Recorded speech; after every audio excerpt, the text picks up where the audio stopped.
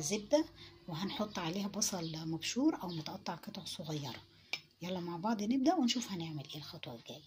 زي ما إحنا كده شايفين يا حبايبي حطينا البصل على الزبدة اللي معانا والبصل يعني كتير شوية. يعني بحبح إيدك كده وأنت بتقطعي البصل شوية. كل ما كان أكتر كل ما كانت المكرونة بتبقى مسكرة. حبايبي عقبال ما البصلة ما تدبل هنحط بيضة مية المكرونة ونحط لها ملح ونحط لها معلقتين زيت. أو معلقة زيت كفاية أو الزيت غالي.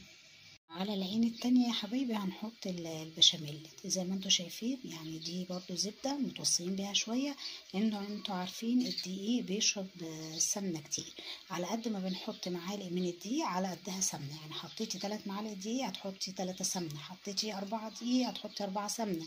وهكذا. أنا عن نفسي مزودة شوية لأن ولادي بيحبوا البشاميل كتير. فعلشان كده أنا مزودة السمنة شوية.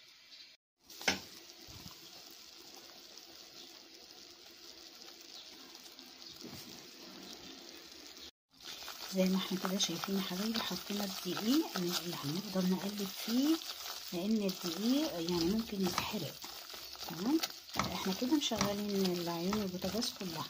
عين عليها سلق المكرونة وعين عليها العصاج وأدي البشاميل على العين التانية نفضل نقلب كده لحد ما يستوي معانا ويبقى لونه بامبا كده حلو أو لونه أصفر مع بعض. بصوا بقى يا حبايبي أنا عايزة اكلمكم على موضوع بكر العط اللي ضاع مني أنا يعني أنا والله زي ما قلت لكم كده أنا مش زعلانة بس يعني هو طبعا أنت بتبقي تعبانة في الحاجة ومكلفاها والكلام ده كله يعني. بس أنا في النهاية والله يا جماعة أنا يعني زي ما قلت لكم أنا بيبقى عندي قناعة إن الحاجة دي بسيطه فماليش رزق فيه فخلاص. يعني عشان في ناس كتيرة زعلانة وقاعدة بتقول لي يعني أنتوا بتنشري وانت بتنزلي يا جماعة والله العظيم عادي. إيه المشكلة يعني؟ هقول لكم على حاجة. طب تعالوا ناخد الجانب الإيجابي من الموضوع. بلاش الجانب السلبي.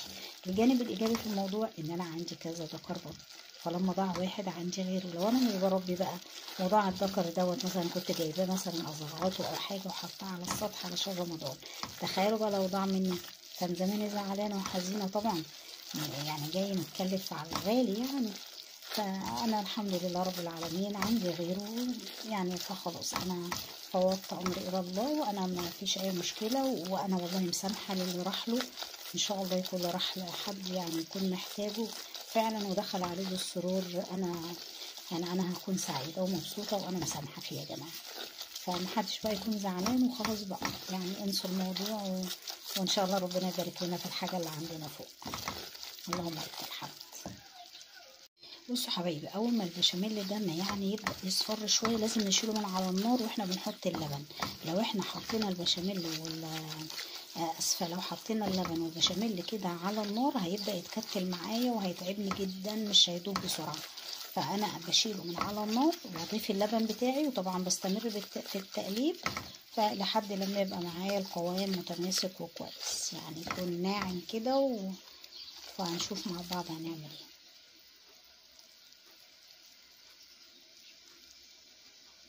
زي ما إحنا كده شايفين حبايبي أنا حطيت اللبن كله دفعه واحدة. طبعا بعد ما شلت الدقيق من على النار حطيت اللبن. وبقلب بقى بسرعة بسرعة عشان ما يتكتلش معايا. عشان ما يتكتلش. نخلص الخطوة ديت ونشوف هنعمل إيه مع بعض.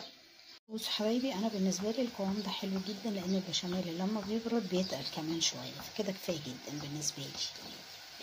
بصوا حبايبي وادي البصل على العين التانية اتكرمل وبقى جميل كفاية قوي إحنا مش عايزينه يتحمر دلوقتي نحط عليه اللحمة المفرومة ونكمل مع بعض. دي التوابل اهيت معانا. عندي جزرة مبشورة وعندي ملح. عندي قرن فلفل بارد. أنا بالنسبة لي بستخدم بارد عشان ولادي بيحبوا ما بيحبوش الحامي. عندي طماطماية متقطعة قطع صغيرة. عندي بهارات.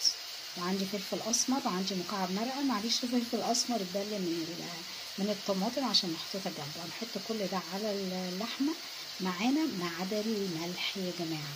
بتاعها وترقد أنا هحطها لها. ده بيض فراخ طبعا زي ما أنتوا عارفين. ده ما بيتغسلش ولا أي حاجة ولا بيتحط في التلاجة. ليه؟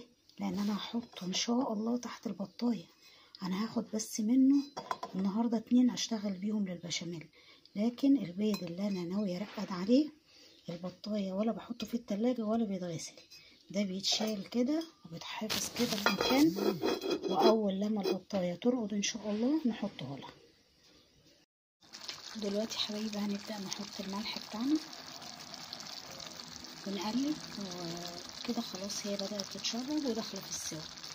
البيض بتاعنا اهو يا حبايبي طبعا شايفين جمال البيض بتاعنا. جمال البيض بتاع العشة بتاعتنا. يلا جدعانوا بقى كده وربوا علشان الفراخ بتاعتكم تجيب يعني تبيض وتستخدموا البيض زي حالاتي كده. نحط البيض على البشاميل. طبعا بعد ما حطينا له فلفل أسمر وملح نحطه على البشاميل ونقلب كويس جدا.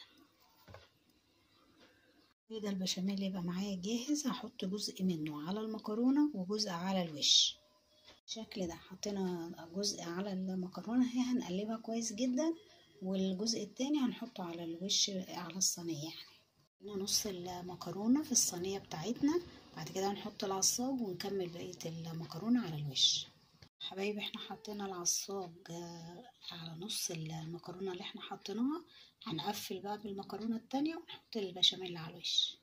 كده المكرونة تبقى جاهزة معانا وأنا بحط معلقتين زبدة كده على الوش عشان يعني يساعدوها على إن الوش يتحمر بسرعة. وده شكل الصينية النهائي. شايفين معلقة الزبده اللي إحنا حطيناها على الوش. ادت يعني خليتها احمرت إزاي وبقت جميلة. يعني ولا ندهن بيض ولا نحط جبنة رومي ولا أي حاجة. يعني ما شاء الله يعني لونها أحمر جميله خالص زي الورده أهي.